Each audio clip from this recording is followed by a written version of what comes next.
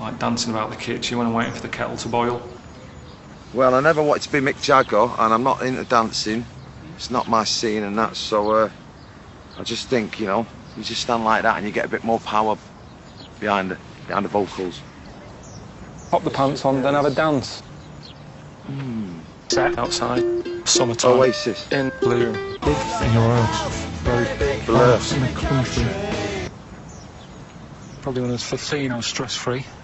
Oh, the favourite thing about the 90s, I reckon there was no camera phones and people were just living in the moment. I just wouldn't record it. It's milk, brilliant. Yeah, Who was that?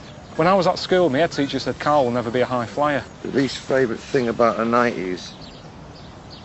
I don't have a, I don't have a least favourite thing about the 90s. The 90s were beautiful.